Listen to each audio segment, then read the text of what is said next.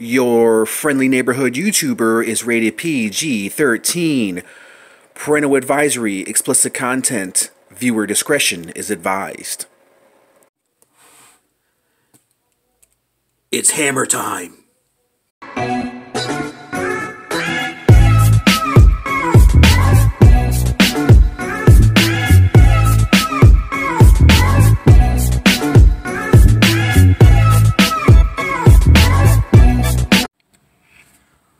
What's up, everyone? It's your friendly neighborhood YouTuber, and here we are back by popular demand with another action figure review. So today we have Warhammer War War Warhammer uh, McFarlane Gold Label, another Gold Label addition to add to my collection. Um, here's the side art: Blood, Blood Angels Primaris Lieutenant. That's the name of this guy. Uh, Warhammer 40,000, 40k.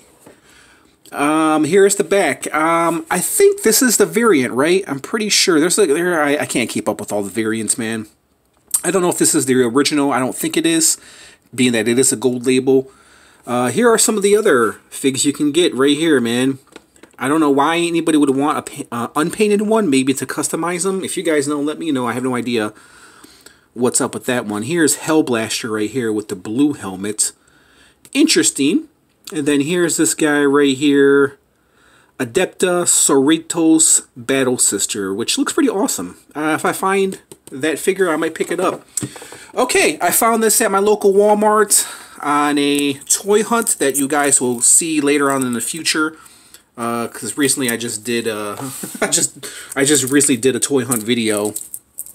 So I found this guy after I released that toy hunt video. So you'll see him in an upcoming toy hunt video. Anyways, let's go ahead and take him out. Let's get to the reviewing because I am as anxious as you guys are. If you guys didn't see some of my last reviews, here is Batman right here, Arkham City Batman, and then there is the Guardian Predator. If you guys didn't see that, check them out. We'll do some comparisons as always. Let's pop him open. And he is one heavy, heavy guy. Okay, man. Okay, he's tied up in there, bro. So, loving the artwork right there, if you guys can see that. The side artwork, that's really, really dope. Love that right there. Um, let's take this guy out, see what he's tied up to. So he's tied up here in the back. All right, you know what, guys? Let's uh, let's jump forward. See this guy already out the package because he seems to be pretty well tied up in there. So let's not waste any of our precious time. Okay, here we go. Yeah, so it's a good thing we did skip forward, guys, because it took me an entire five minutes to take this guy out the package. He was he was in there, dude. He was really, really in there. Um, of course, here's the back uh, background right here, the cardboard back piece. There's the signature McFarlane Black Spear of a stand. Has Warhammer 40,000. 40,000 leagues under the sea. Actually, it's 20,000 leagues, but who's counting? So here is... I already forgot this guy's name, bro. Blood Angels Primaris Lieutenant. Okay. And he's a heavy guy. Uh, he does have some really nice weight to him. So let's do a little close-up. Let's lower my camera just a little bit so we can do a better review of this, a more professional review. uh, if you come to the place where uh, you're expecting a professional review, you're, you're sadly out of luck. Okay, so let's start at his head, guys. Very, very nicely detailed. Kind of a... It's not even a gold. It's like a flat gold color. Green eyes. The gold right here. I wish they would have used some real gold because this gold is just kind of crappy looking. Actually, this gold is kind of looks different as opposed to this gold right here. Looks a little different. It looks a little bit more shinier, where this looks a little, little bit more plasticky, plasticier, if there is such a word. Same thing with his head as well. And this gold is a little bit different too. You can tell, you know what the difference is, is if you look at this gold right here, there's metal flaking on this gold. Same thing with right here, and then you come up to his head, and I think they forgot to do the metal flaking on his head and his shoulder pad right here. So that's the that's the difference between the gold right there. I don't know if it's just my figure or if it's all the figures. If it is all the figures, why the hell did they do that? I have no idea. Uh, they even put they put the gold flaking on right here. You can see the differences between the gold. So if you guys know, let me know. If you guys have this figure, let me know. So there's that my one gripe already with this figure. So as far as articulation is concerned, his arm popped off, but it can pop back in. Arm can't really lift up that much because of the shoulder pads. No double jointed uh, arms. Um, does have the ball joint wrist. Does have a uh, swivel right there at the uh, bicep. That's pretty dope. Uh, torso swivel, a little bit of a waist swivel, mostly torso swivel. It's on a ball joint. Nice, nice, me likes. Uh, his feet can't really kick out because of the design of this figure. Once again, McFarlane makes these figures. I said it time and time again, spe specifically with the armored figures, like the Doom figure, where he just creates these designs and they just completely hindered his articulation, guys. Um, there is some bleeding. For once, there's one one thing, one great thing about McFarlane is there's no bleeding, but there's, every now and then you might catch a couple of splotches here and there, but there's some bleeding right there on his black belt. Uh, knee, pretty nice bend right there, but once again, there's no double jointedness. His leg is kind of loose right there. I like the yeah, see, it's open for like a 90 degree bend. Obviously, see the knee right there. So you you could, it is double jointed, but once again, it's just kind of hindered by the design of the figure. You know what I mean? I just never understood why McFarlane and other toy companies as well, you know, give us the, the amazing articulation and then they hinder it uh, by creating this armor, which just fucks up the entire articulation of the figure. Uh, ankle movements, no really ankle swivel because, like I said, once again, it's just the design of this figure just kind of messes up the articulation for for this figure. Overall, he's a nice looking figure. There's the back. So he comes with this backpack right here. I'm guessing because he flies. I've never played the game right. It's based on a video game. Um, never played Warhammer, so here is the back right there. So yeah, that's a nice, nice addition. I like that. Kind of reminds me of uh, of Hulkbuster. So that right there, putting that shit on his back, he just throws him off balance. So you have to get him to tip over in order for him to stand up, which I don't like that at all, guys. But he does come with a stand. I don't know how much difference that will make, but yeah, see. So if you want him to get him, if you want him to stand, you have to put put him up against something like this backboard right here. So Warhammer, um, I have no idea what this goes to, guys. Let me see. Is there some kind of attachment right here? What right here maybe? Right there. Kind of looks like it.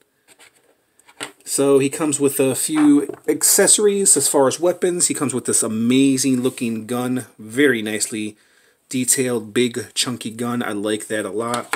And then he comes with this awesome looking freaking sword.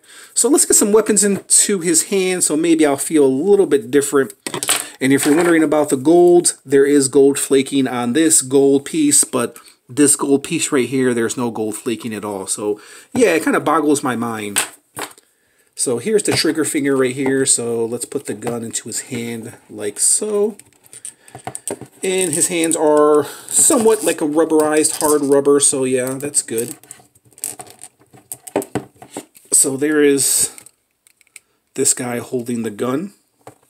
The Blood Angel. Let's pop the sword into his hand. Let's see how well he holds the sword. You might have to warm up this hand in order to get, to get the sword in there, but ain't nobody got time for that. Ain't nobody got time for that. I love his weapons, dude. The weapons kind of saves this figure, dude. This beautiful looking sword right here. Let me put my camera up just a little bit to get the sword into frame. So yeah, the sword looks really, really good. The gun looks really great in his hands. Uh, his head is it's just on a swivel, dude. There's no ball joint, just on a swivel. It's a hollow, hollow piece right there for the head. So, I mean, if you wanted to, you could probably switch out a head. You necessarily don't have to use his head, so but there he goes. Uh, yeah, definitely the accessories for this guy definitely saves this figure. This backpack looks great, but it just kind of weighs him down. So you can't really get him to stand, stand straight. Well, maybe you could. Maybe if you tilt his boots. Okay. Yeah, if you tilt his boots, yeah, you could probably... Yeah, you can get him to stand. Okay. It's just about angling his feet right to where he can stand straight. Okay, so we'll we'll we'll uh, add a point to that. We'll I deducted a point, so we'll add a point to that. His weapons is definitely an upgrade. Uh, makes this uh, figure looks really make this makes this figure look really really awesome. Um, the weapon doesn't really go with this guy. I feel like he needs like a different color weapon, man. Because well, maybe no, maybe not because the black does go with the black, but this right here, this could have been painted red, just simply because just to go with this whole, his whole, his whole overall theme. But I'm pretty sure this is accurate to the character himself. So let's do a little measurement, guys. We'll do some comparisons. I'm gonna go ahead and give you my rating. So Warhammer, all the way up to our Warham Warhammer Blood Angel. This guy stands at about seven and one fourth tall all the way up to his backpack spike. He's just a little bit over 8 inches tall. So here he is with the last figure that I reviewed of Arkham Knight Batman. You can definitely tell it's by the same person, McFarlane. It's it has that same feel to it, you know what I mean? You can't you can't mistake this for a Hasbro, you can't mistake mistake this for a NECA figure. It is a McFarlane figure. Here he is with the Guardian Predator. If you guys want to see that, check it out. That's how he measures up. Okay, guys, so let me give you my rating. So, I, I will add a point because he has some cool accessories. Uh, I will deduct a point because this right here, I don't like the plastic gold. I wish it would have gold flaked them. I mean, you can customize them for all you customizers out there. Same thing with this piece right here. There's really no gold flaking on it. It's just kind of a gold plastic piece. Same thing with this piece back here. So, yeah, man. Um, I'm gonna I'm gonna be generous simply because he's a nice designed figure, nice weapons, nice sword. Overall, he's a nice looking piece. Um, so I'm gonna give him a seven, a seven out of ten. I'm being very generous, guys. Um, I think if you guys are fans of Warhammer, you'll probably be somewhat satisfied, I guess. Uh, like I said, I'm not too familiar with the storyline or with this character at all. I do like the overall theme. He kind of has like a, a like a Azrael theme going on, doesn't he? With the crucifix right there and just the overall look, man. He's a very nicely designed figure, man. I, I do like him. I do recommend him. Of course, this is the gold label edition, so this guy's a little bit different as opposed to the original, from what I can remember. Overall, nice figure. I wish he was a little bit bigger. He does seem kind of a little bit short and stocky. So he is at the 7-inch mark.